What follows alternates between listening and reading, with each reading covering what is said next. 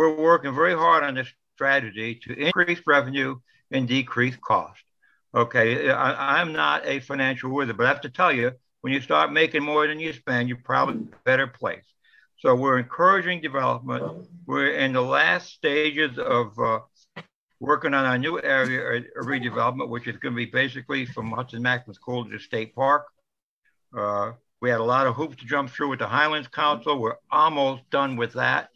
The Highland Council is paying for that study. When we get that study done, we'll start doing lot line adjustments. And the thing, uh, the thing it allows to do, and we're working on a project now. The land use board worked last night on a project to bring in a significant housing development. Uh, hopefully, we can we can we can uh, orchestrate that so it it starts materializing when we pass the area redevelopment and we can run a pilot program. Redevelopment is extremely important to revenue in the sense that when we do the pilot program, which is a form of tax abatement, it's a five-year plan, and over five years you go from zero to 100% of your assessment, which is your payment.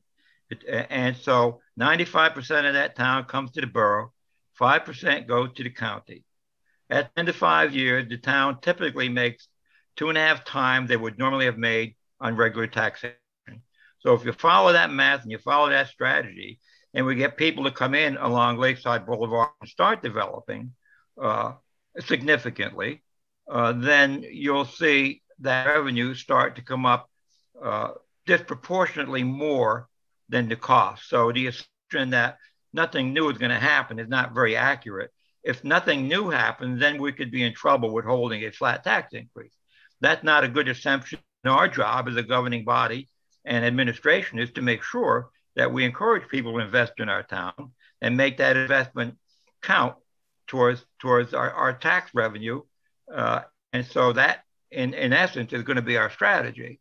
And when the time comes to make some harder decisions, uh, certainly won't shy away from that. So the point I'm making is uh, everything in, in, that we see today may or may not be static in, in the near future. And so that means you might see significant changes.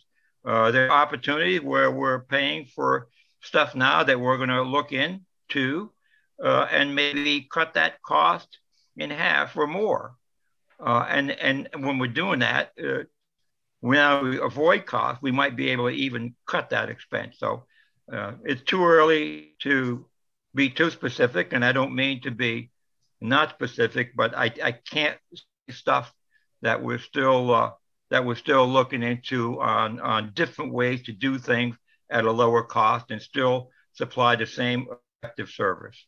That's a challenge, and we have to use our intellect. And I'm and what gives me so much confidence is the people that we have working for the borough, our administrator, our CFO, uh, our tax officers, and our council. As we have these opportunities, I'm, I'm we're very, very aggressive on uh, doing grants. Uh, you know, you'll see some paving this year with significant numbers. We just uh, we're just doing paperwork now to do more paving in 2022. So, you know, we're thinking a, a couple of one, two, three years ahead. That we really can't advertise a lot of that yet, but I can tell you that it's not doom and gloom for me. We, we have to be up to the challenge, and, and challenges change. Change frightens people. I understand that. But sometimes if we want to our town affordable, we have to have that change. And, and it's going to be uncomfortable. We're going to be out of people's comfort zones. I can tell you that right now. But it's going to be for the benefit of our town. And, and, and uh, so you're just going to have to bear with, if you're public, bear with our governing body. If you're our governing body, bear with our professionals.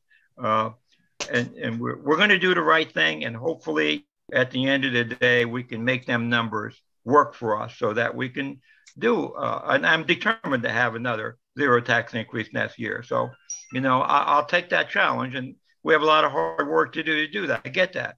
We had a tremendous fund balance, and, and uh, now it's becoming. I forget what the number we had, Lorraine. It was 20% or 25%. We, we picked a percentage of budget that we never want to go below with fund balance. So I'll tell you a story about 2007 when I got elected. Uh, there was no fund balance. Our, our, uh, our people at that time said, you know, we might not even make the payroll. How about that for a newly elected official? And so we swore, I committed that that would never happen again, and it won't.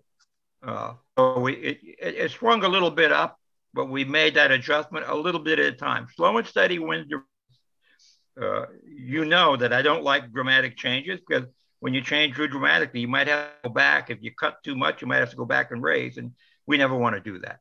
Uh, I'll use the sewer fee for example. Can we cut more? Maybe.